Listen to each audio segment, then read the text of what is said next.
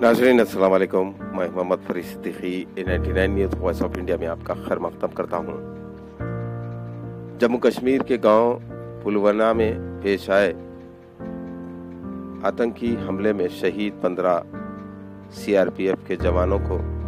آج شہر حیدرآباد کے مختلف مقامات پر عوام کی جانب سے خراج عقیدت پیش کی گئی، جس کے چلتے ہر جگہ پر کینڈل کی ریلی نکالی گئی اور تمام شہید سپاہیوں کو خراج عقیدت پیش کی گئی۔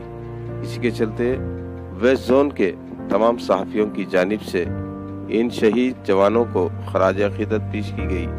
اس موقع پر ان کے ہمراہ A C P, Asif Nagar, Shri N Narasimha Reddy بھی شامل تھے۔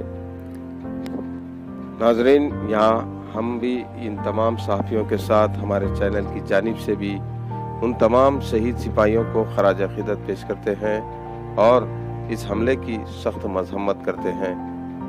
ہندوستان کے وزیر اعظم شری نریندر مودی کو چاہیے کہ اس حملے کا منہ توڑ جواب دے اور شہید ہوئے تمام سپاہیوں کے افراد خاندان کو ہمت دے اور ان کو تعاون کرے، ان کے لیے اچھے سے اچھی خدمت کو انجام دے۔ اس موقع پر اے سی پی آصف نگر نے بھی تمام پندرہ سپاہیوں کو خراج عقیدت پیش کیا اور اپنے اظہار خیال کیا۔ ہندی۔ کل کشمیر میں پاکستان ٹیررسٹ اٹیک کر کے سی آر پی ایف جوان کو مار ڈال دیا۔ اس کا آتم شانتی کے لیے آج ریلی کیا۔ میری پٹنم میں۔